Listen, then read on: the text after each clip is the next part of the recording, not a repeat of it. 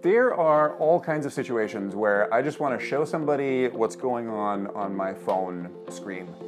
Uh, maybe for bragging rights, uh, maybe for some website feedback that I want to send to somebody, or uh, for this tutorial video that I'm about to do for you right now.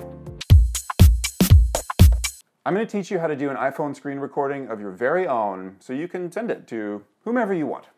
To record the screen on your iPhone, uh, you need to go into the control center. On older phones, you get into the control center by swiping up from the bottom of the screen. On newer phones, on iPhones and iPads, you slide down from the top right and you would see the screen recording option here, uh, but it's not turned on by default. So I'm going to show you how to turn it on.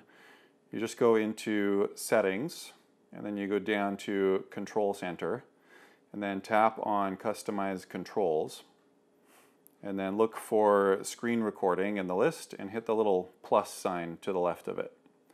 And so that will add that as an option. And so now when I go back to my home screen and slide down from the top right, you have that screen recording option there.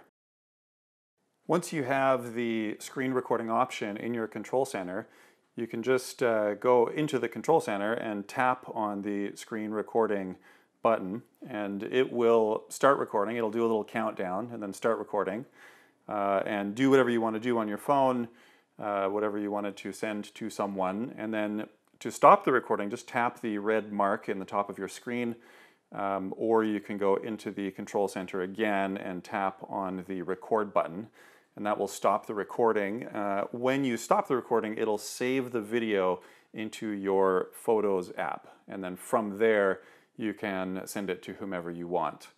Um, if you want a few more options in the record settings, just press more firmly on the record button in the control center, and you've got the option to stop from in here. You can also start from in here, uh, or you can turn the microphone on and off. And so you get a little more control over your video that way. And again, when you want to stop recording, you just press the red mark at the top and then stop. Boom, Mac Epiphany. If you want professional one-on-one -on -one help with the tips in this video or with anything else in your Mac lifestyle, head to macinhome.com to schedule a consult. I'm going to teach you how to do an iPhone screen recording of your very own.